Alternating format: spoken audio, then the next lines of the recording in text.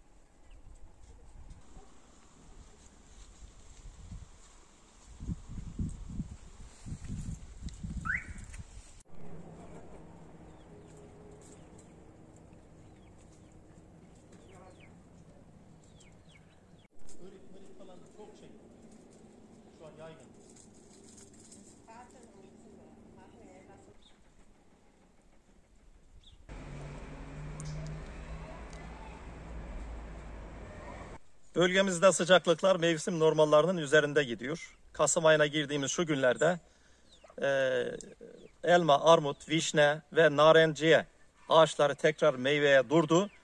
Tekrar çiçek açtı. Normalde Mart'ta, Şubat'ta açılması gereken bu şey e, çiçekler e, Kasım ayında açtı.